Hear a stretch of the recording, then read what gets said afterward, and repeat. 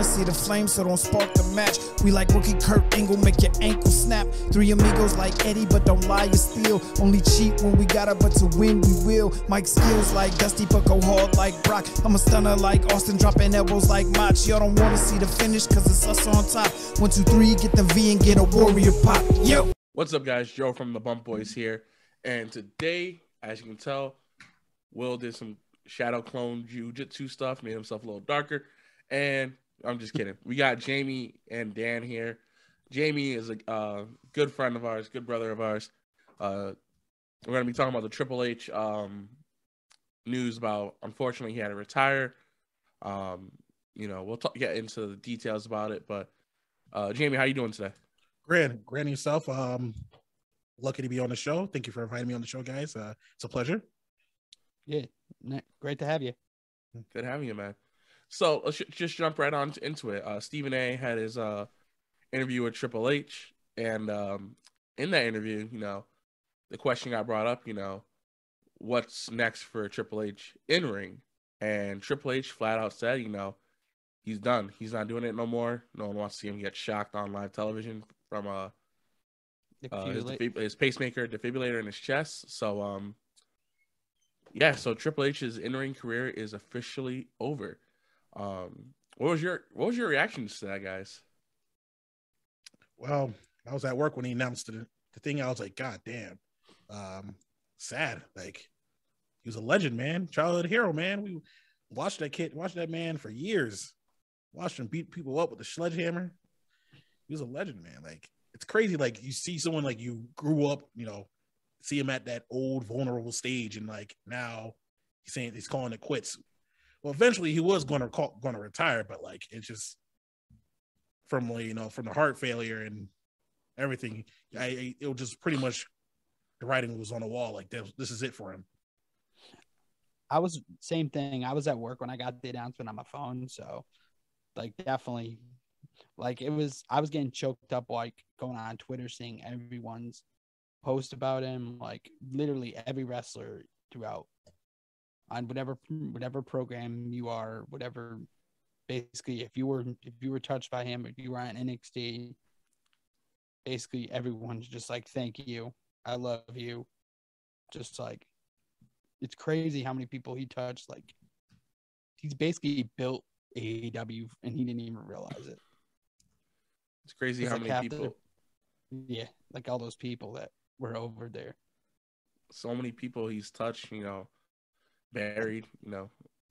Wow, but he overall, buried a lot of people. He buried a lot of dudes. I think like the worst but, uh, person, worst person that replied, even he gave him back. a yep, right back.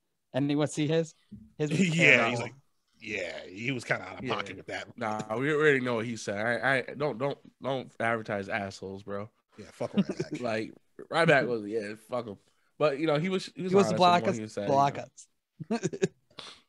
so um yeah, but with Triple H, you know, it's like oh, this man had a crazy career. You know, once Stone Cold left in the in the business. Yeah, once Stone Cold left, you know, he took over and he became that top heel, and you know, then he came back in 2002, and you know, we had the Cerebral Assassin, and uh he had he had a great career. You know, 15 time world champion. It would have been nice to get one more match out of him. I think he was um, supposed to. I forgot who he was supposed to face this year, but I know Vince was trying to, but he told him no. Yeah, I don't think he's gonna have another. Or if he has one, it's gonna be very rare, regulated and stuff like that. You know, and it's gonna be one. It's gonna be like a promo match. Like he's gonna, someone's gonna cut a promo. He comes in, hits a sl- hits a pedigree, do the little yeah thing and call it call it a day. Yeah. I want to see him actually see like bury someone, like you know, like just put some dirt on them, like. yeah. Like I was, I was happy that his last two matches were Randy Orton and Batista. Damn, I forgot he. That was like second to last match was against Dave. And that was like fucking ten years, almost ten years ago. Shit. No, wasn't against. Uh, wasn't it? Was it the last one a Saudi one? Oh yeah, Saudi his Saudi match, his Saudi match with uh, Shawn Michaels against Randy. Brothers Destruction. No, uh, yeah. I can tell you. Give me a second. I swear it was, was Saudi last show, match. bro. The Saudi blood money match. That match that fucking pissed everybody yeah. off. Yeah, pretty sure it was Saudi, and if not, it was him versus um like Roman or something for the title. Oh, it was him versus no, was this I think it was him versus Seth. Was like his like other last. Uh, match. Randy Orton, Saudi Arabia, one on one. Holy shit! When was this? When did this happen? Which Saudi show was this? June. Damn, Saudi Blood Money 2019. Mm. Jeez, who won His that one? last was, uh, I think Randy. Oh, it was the no holds barred match, right? Yep. And Randy won that one, right? hmm I think that's a good way to go out then. Yeah, at least it's Too someone it's like in Randy. Saudi Well, Arabia, it's but- not a, like a a Baron Corbin type going out, aka Kurt Angle. Yeah. But um I think overall, you know, Triple H has had one hell of a career, so you know, it's hard to even, you know, put him in the realm of like he's still around but he can't wrestle. So it's kind of one of those things, but I, I hope he finds what he's looking for outside like he said his hunger, his determination, his uh his grit is still there, you know, he still has big goals, big expectations. And just because he can't get in a ring doesn't mean he can't produce really great content for the people. So Okay, I think can overall- tell you, I can tell you what the, who was on that card for that Saudi. It was I don't Undertaker defeated Goldberg. I don't want to know, bro. I, I don't. I hate the Saudi Yeah, shows. we- yeah, fuck the Saudi Yeah, show. fuck the Saudi shows, bro. Fuck Saudi Blood Money. and then his last match before that was Batista. When Mm. the fucking- what, what year was that? Yo, that was Uh, the give, give me Batista what I want. WrestleMania. That was Batista's last match. Damn.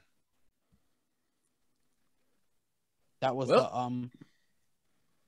Hey, It's like it's like damn, like those are his last two matches. Well, at least it's the At least evolution. it gets people that like, you know we care about. Yeah. Yeah, he, he like he he definitely influ- he definitely changed the game how wrestling works now. Like he he definitely has an influence on how the business operates. Like you see a lot of like former wrestlers turning you know promoters and booking booking events how like wrestling should be like this now new modern experience how the wrestling is. I think he like he really put a real big influence in that on that aspect. I agree, man.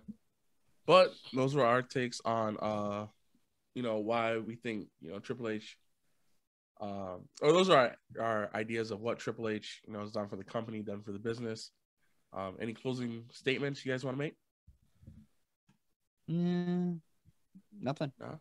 I I, Um, yeah, yeah, he's, Does- got, does he's Will going down top, definitely top, top, top, uh, outside the top five all time. He, he's does Will want to say that. anything about Triple H?